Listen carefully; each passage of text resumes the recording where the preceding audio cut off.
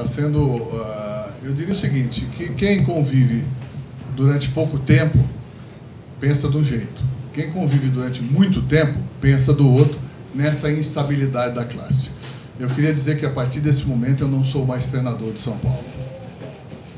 Aí muda o rumo da conversa e aí vocês perguntam as outras coisas que vocês quiserem. Porque nada que vocês iam me perguntar, eu posso dar ênfase agora, porque eu já não sou mais o treinador de São Paulo. Acabei de, de conversar com o senhor Juvenal.